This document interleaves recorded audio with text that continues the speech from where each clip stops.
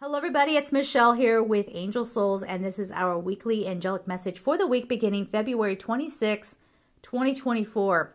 Before we dive into this reading, which has been really good, if you haven't noticed, I have brought back the dailies. Those are some excellent cards coming out. Make sure you're tuning in for those. And I'm doing monthlies, y'all. Okay, I, I, I'm doing it. I'm doing it because you want them. I'm doing it. Let's see. Let's see. But before we get into even all of that, I have partnered up with Mint Mobile. Yes, Mint Mobile that is owned by Ryan Reynolds. And I want to let you know that this is a chance for us to save a little bit of money on at least one of our bills. We talk about that all the time in these videos. I do readings for people. I hear about what they're going through out there. I can't switch everything for you, obviously, or do anything about the rent, but here's a phone service that's really good. I've used it, I've really enjoyed it. That could save you a little bit of money. So the plans start at $15 a month. If you use my unique code, you are helping me out and the work that I do here. And if you choose to do that, I appreciate that so, so, so much. It only takes like 15 minutes to switch over. It is the largest 5G network in the nation. Why wouldn't you at least try it? So give it a go see how you like it. If you can shave off a little money, like I said, a little bit off of the monthly expenses, let's do it. Okay. So thank you for that. If again you choose to use my unique link. Now, getting back into the reading here, let's see. I want everyone don't listen to this while you're driving, or if you are driving, don't just pay attention to your driving, okay? Like, let's not get crazy. All right. So I'm going to breathe in. I'm going to close my eyes. Again, if you were driving or operating heavy machinery, taking care of children, maybe not the moment, okay? Don't do that. Thank you. Let's see. let's see what we got going on here. What is the story? What do we need to know? All right. Four Gabriel, we'll talk about it the chariot. We'll talk about it. King of Ariel. Okay, nice, nice energy here. Let me just put this down here for a second. Ten of Michael. Okay. There is a huge ending coming because there's something like the, the stuff that you have been wanting to put to rest. Most of this feels like it is emotional, but it's putting some emotional situation to rest and then things start carrying forward for you. Eight of Ariel, Ariel, you might be starting something brand new that you have to learn. Okay, so let's start Four of Gabriel here. Every time this card comes out, this reminds me of stability. In this particular depiction, there is a couple here being watched over by an angel. And it just makes me think of like you know, again, partnership. We talk about that in the daily, so make sure you check that out. Partnership, um, being supported, finally having a firm enough foundation where you can start forward movement. So if you've been feeling stuck, a lot of potential here this week for you to get unstuck. We'll talk more about that, of course, because the chariot, the big story around the chariot. Okay. Time to celebrate abundant rewards for hard work. Release yourself from burdensome situations. And then for that, we just have to go right to the 10 of Michael, right? That is the burdensome situation. The 10 of Michael card says, a situation has ended and you are finally free. New opportunities for happiness will now follow. Put the past behind you. I want to say something here about. I, I see on social media where people are getting laid off from their jobs or you know just getting fired. Um, job hunting has been a big thing. Uh, you know when i do readings for people it's always like you know i've been out there for a very long time. This social media stuff that i do when people are getting laid off they're not getting my services. So i was out there too. I do copywriting i do writing pretty much of all kinds. Uh, and i've done executive assistant work where i've managed an office. Like I was out there too, trying to find extra work just to, you know, just to get by. Most people need two jobs to get by. And I have seen firsthand how rough it is out there. Companies putting out fake, you know, job things and then making you go through the interviews and they were never intending to hire anybody in the first place. So, whatever that energy is, if some of you are dealing with that, please know that is coming to an end. And I will also tell you that um, I don't know how it's going to happen, but companies that are being unscrupulous about the hiring process, something's going to happen there where they are going to be held accountable. Again, I don't know how that looks. Obviously, I don't know the laws or whatever, but something's going to be put in place where they are not allowed to do that. So I don't know if it's another uh, safeguard where they have to prove that they have the job available, whatever the case may be.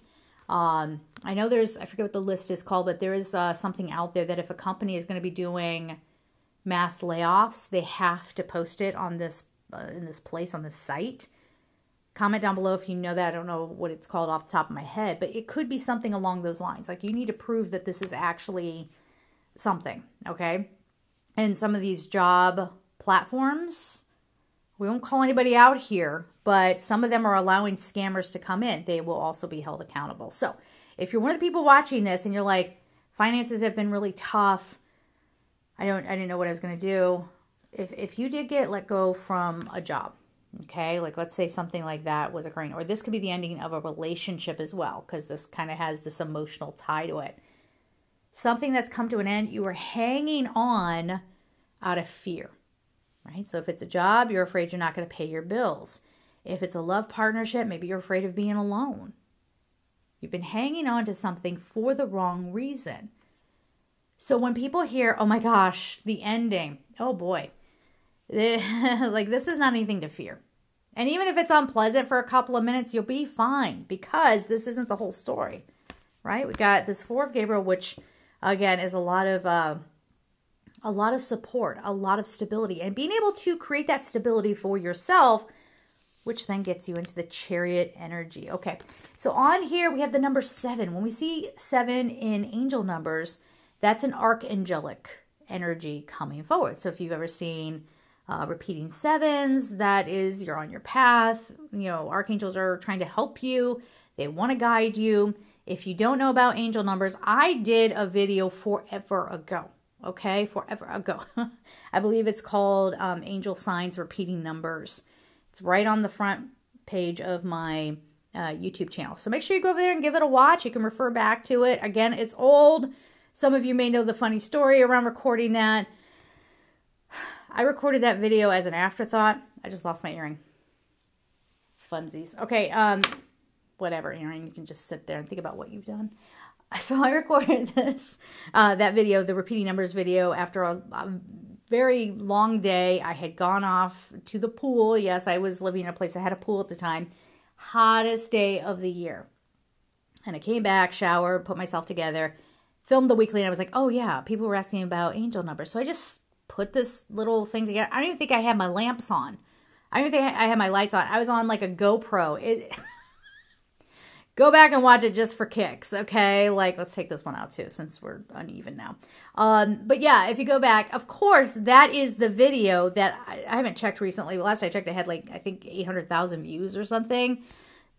Yeah, that would be the one where I look ridiculous. The quality wasn't even that great, but like, what you gonna do? Maybe there's something in that for this week too. It's the thing that you don't think is going to be successful that takes off. Okay. Yeah, so buckle up, honey. All right. Now we have the chariot, the number seven. Archangels are helping you, bringing you forward. It's also about ascension. People cringe at that word. I don't know what to tell y'all. We, this is the language we use for things that are unexplainable.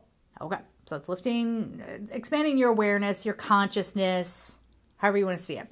This Archangel Metatron, also about ascension. He's about intuition, studying, which, uh, if I can get the card picked up, which we have the Eight of Ariel here as well. So Metatron can help with studying, remembering information, uh, you know, sacred geometry, so many things. The Book of Life, Akashic Records. Uh, did I say time management? If I didn't, there you go. Throw that one in there too. Helps with a lot of things, especially resonates with the third eye. Determination and self control. This is how you're going to be able to make this stuff happen. Determination and self control. Okay. Career advancement, boom. Boom, I done told you that that one job was terrible anyway. No, okay? Some of you might be like, no, it was good. It Was it good because they fired you? Okay? That's mean. Let that help you move on, all right? Acknowledgement of success by others. But this is you getting into your balanced, harmonious state, recapturing who you really are, and carrying forward with that energy. It's absolutely beautiful. Now, let's get into these Ariel cards. So, if you don't know about Archangel Ariel, Ariel is associated with a lot of things, again, like Metatron, but like nature, being grounded, detoxification, uh, material needs. I always associate Ariel with sort of root chakra things, right? So helping us connect into our physical being and still be a spiritual self at the same time. So not losing the spiritual self in your physical beingness. And she helps us manifest. Now, what's interesting here is we have the King of Ariel, successful See these words popping around successful, successful, successful. If you get to the end of the week and you're not successful, do you know why?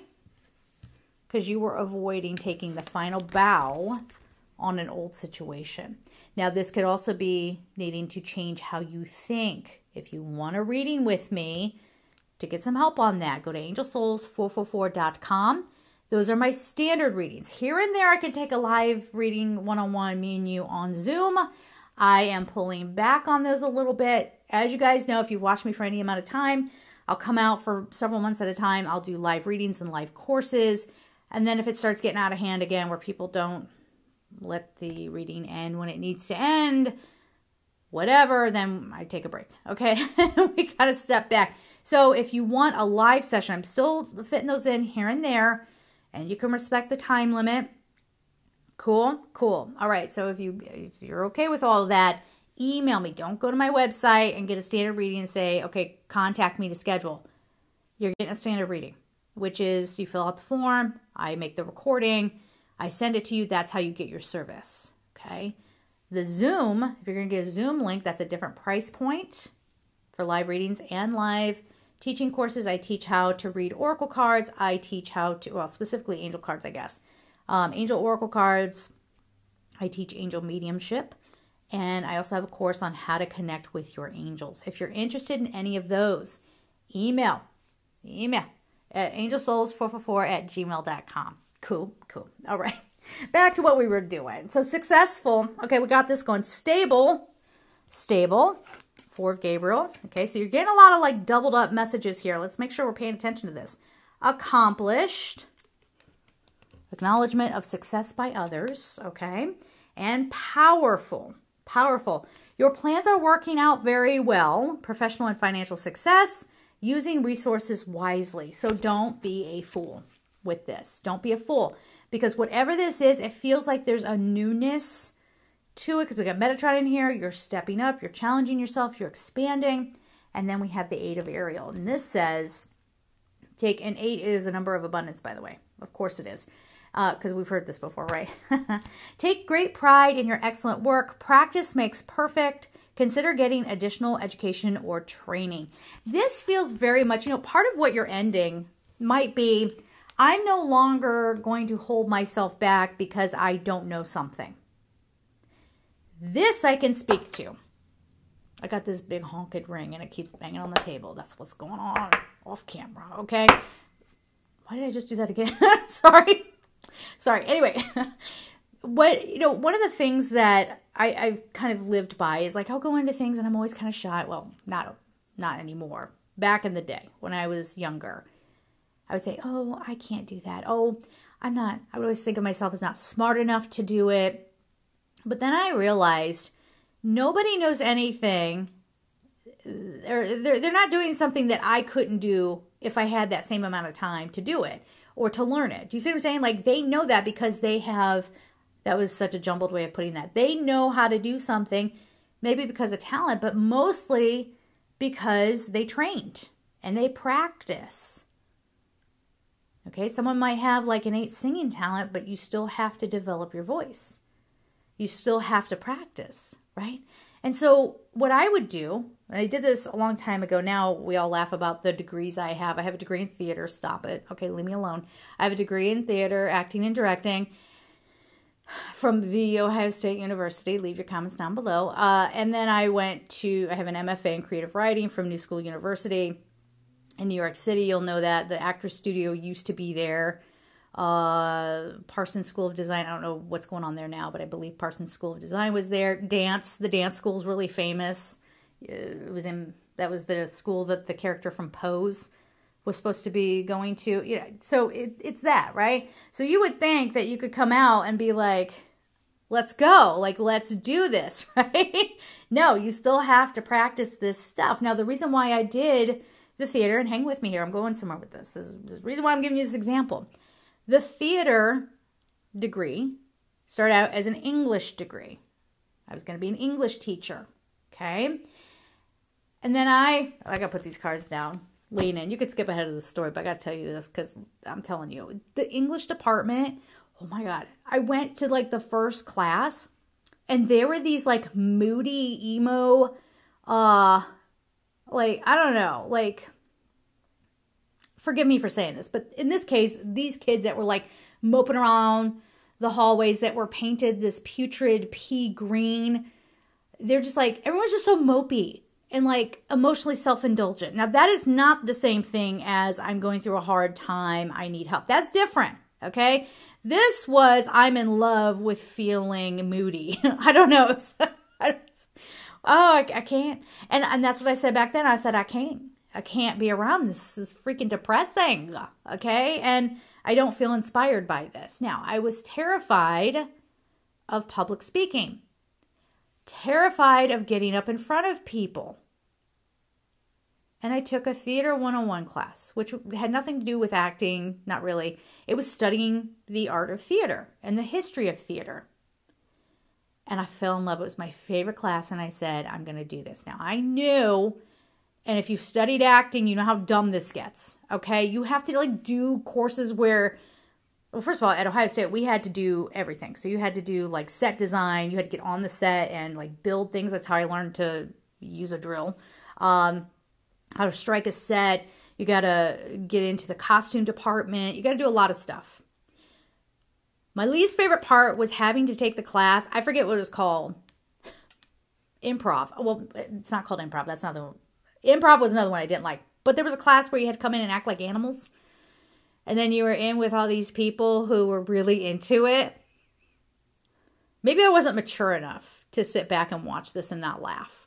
I couldn't do it. I graduated. Okay, now I got it. But the point is is that I was terrified of doing these things. I was terrified of being on the stage.